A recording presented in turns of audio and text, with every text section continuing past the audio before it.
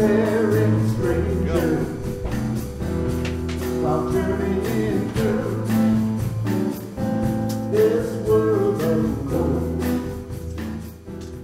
is a great opportunity that we have here at Fairlawn West to be a part of this program, which has been in existence for quite some time.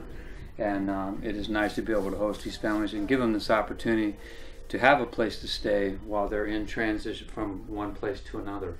And we love the fact that our church is big enough and has enough room to accommodate the, the families. This evening, we are going to welcome four families who are participating in the Family Promise Program. They are working to regain permanent housing situations. Family Promise keeps together families during one of the most difficult times of their lives, which is when they are homeless. Family Promise of Summit County is a, an emergency homeless shelter. Um, our goal or our mission is to help homeless families with children stay together and achieve sustainable independence. Um, it is a national model. There are actually 200, over 200 family promises across the United States. At any time, one of us could be in the same shoes as they are.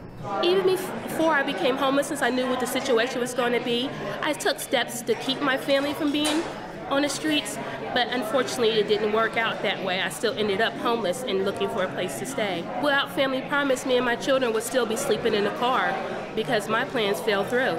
They're the only ones that really bring the whole family in, including the husband and everything, so yeah. they help. Hmm. Especially with older boys, they're the only one that would help. I believe that Family Promise is the only one that that keeps families with children together. Because if you are a woman with a boy child over 12, you're out of luck. Or if you're a single dad with a daughter, you're out of luck. See you later.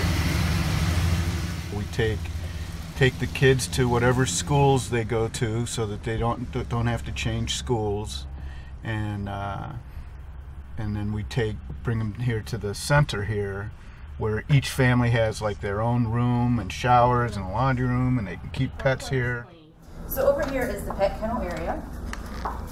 Um, this uh, area right here serves our, our dogs. So as you can see, we have four kennels um, to, to house four dogs.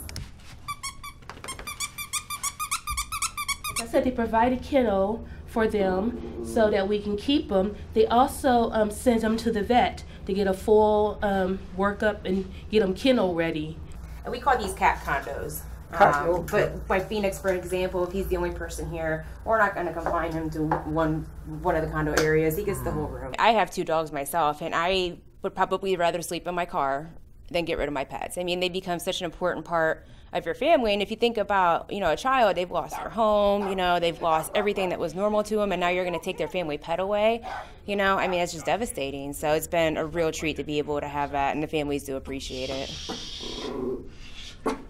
Congregations like the UCC provide kind of like that warmth welcome to our families like hey you know we're all one here nobody's judging you i've done the dinners before and we've done everything from like a taco bar with chicken and beef Those and, are always fun. yeah yeah that's fun I'm glad they took the time to prepare the food, and I really thank them. Every new person that has come to this congregation in the last three years has had an immediate connection to Family Promise. Yeah, when we first came to the church, we were looking for ways to get get involved, start volunteering, and Family Promise was an easy way to get started. I wanted a church that didn't focus strictly on its own congregation, but tried to to be of service. Love of neighbor to me is not just love of the people in your church, as some churches seem to emphasize.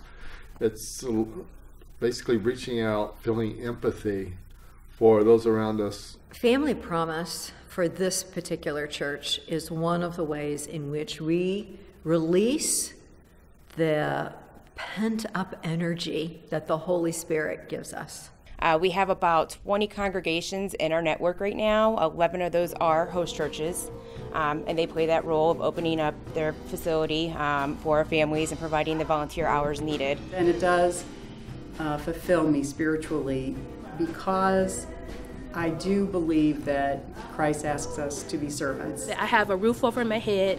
My children have a safe place, a clean environment, place to shower. Was, I was able to get them into school and it's all because of Family Promise and all the volunteers. If it wasn't for them doing God's work, we wouldn't be in this situation. And I really like to thank everybody in the system for helping us.